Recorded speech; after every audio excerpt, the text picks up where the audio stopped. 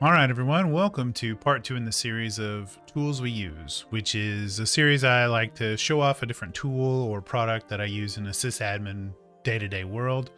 Um, and if you didn't notice by the thumbnail and the title of this video, today's tool is ChatGPT. So let's go over and take a look.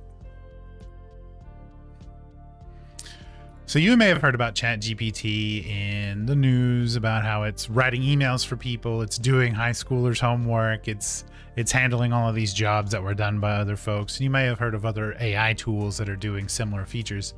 Um, but what's great about ChatGPT for a sysadmin is it gives you someone to bounce your work off of.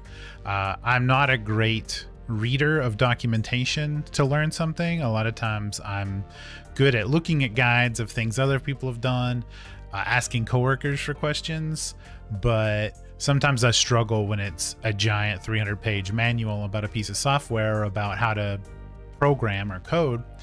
Um, so it's easier for me if if I have someone to talk to and I don't like interrupting my friends and coworkers who are trying to do their own work with my stupid questions. Um, when you know they might know the answer and they might be able to help, but I feel bad bothering them about it all the time. So now I have Chat GPT to help me.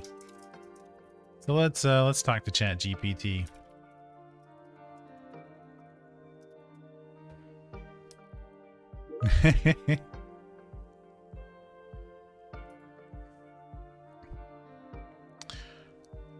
so yeah, anyway, um, how do I use ChatGPT? Well, mainly a lot of it is coding based because I did not learn any sort of programming language when I was uh, uh, younger in age and all that. And uh, I probably should have, but I didn't.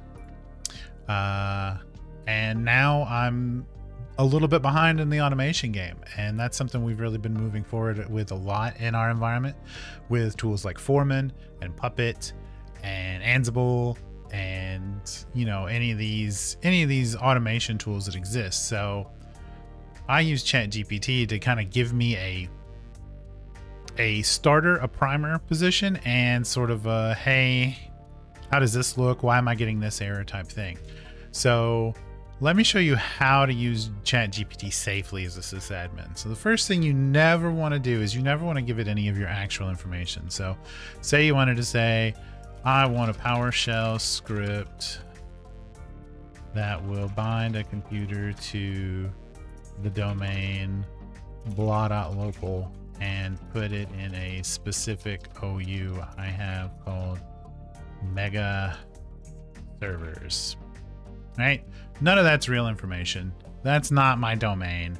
That's not an OU in my domain. And then I didn't give it any credentials either. Now, and there you go. It spit out a very simple bash, you know, output for a PowerShell script. So you could copy this code throw it in PowerShell, and from what I can tell, it should work fine. I've I've done this before, um, and that's a good way to, to to get your feet wet in this. Now, what you don't also what you don't want to do is you don't want to ask it for a script that you can't at least verify somewhat yourself. Like say, I have a list of ten thousand names and I Need PowerShell to organize them in groups by last name, first letter. I have no idea if this will work at all. It might, and as long as I keep a backup of that list somewhere, I don't mind plugging it in and testing it. That's that's something safe. That's something that I'm not going to run in production that's gonna you know destroy everything or you know maybe i want uh how do i format a linux machine using bash without uh the process formatting itself surely that won't work um just write zeros to the entire disk please don't do that please don't ever do that if you're going to do that, now I can tell you a situation that DD is really handy in Linux, and that's if you need to make a bigger swap file. You can just DD and then call it swap and then mount it as extra swap space. Uh, that's this old folks thing going on. Um, but anyway, that is kind of the tool we use. That's ChatGPT. Um, it's really helped me get a lot better at PowerShell. It's helped me get a lot better at Puppet. It's helped me get better at using Foreman um, and creating provisioning templates and configuration files and, and things of that nature so that I can make a more automated environment so that I don't have to do as much manual work. Now, does that mean I'm going to lose my job because of it? Highly unlikely. There's still a lot of things that I do at my job that are very human interactive. ChatGPT can't rack and stack hardware yet. ChatGPT can't really monitor our environment and fix things yet. Um, but that's coming. Those kind of things are on the horizon.